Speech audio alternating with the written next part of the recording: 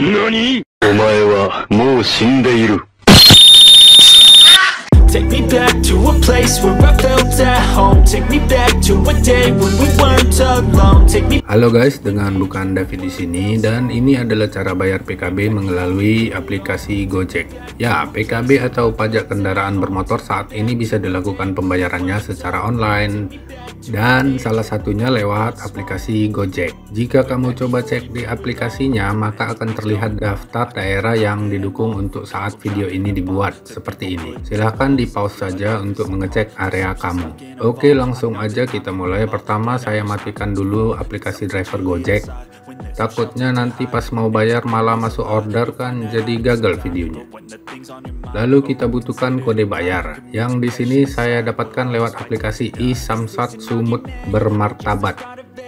Tap kode bayar tap tanda plus lalu isikan data yang diminta nomor polisi 5 digit angka terakhir nomor rangka nomor mesin NIK, email, dan nomor handphone. Pastikan email kamu aktif karena akan dikirimkan kode OTP, lalu tap submit. Masukkan kode OTP yang seharusnya sudah ada di inbox email kamu. Setelah sukses akan muncul tampilan seperti ini.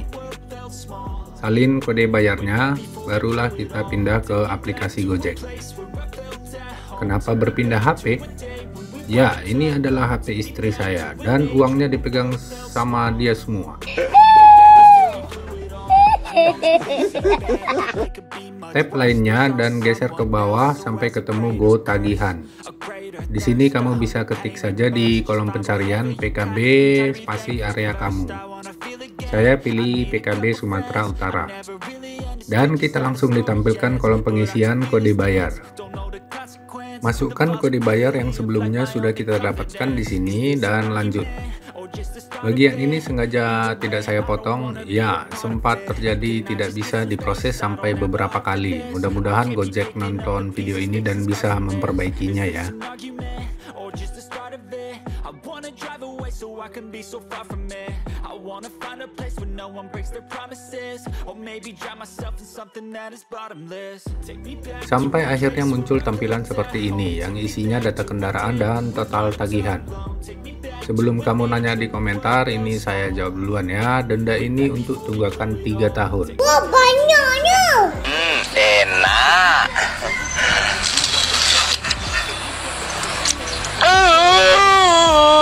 Tekan titik tiga di sudut ini untuk mengganti metode pembayaran. Di sini saya pilih GoPay dan tap bayar sekarang.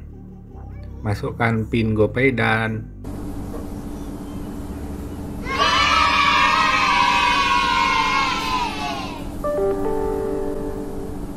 Kalau kamu bisa dengar, barusan HP saya ada notifikasi email yang mudah-mudahan isinya adalah konfirmasi pembayaran berhasil. Ayo mari kita cek. Isamsat Sumut bermartabat pengesahan kendaraan bermotor berhasil. Wah hebat banget.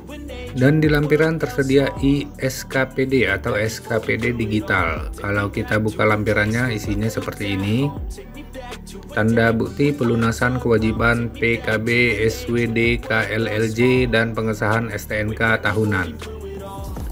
ISKPD ini merupakan bukti pembayaran yang sah, tapi untuk keperluan lainnya, kita bisa datang ke seluruh titik pelayanan kantor Samsat untuk pencetakan SKPD fisik.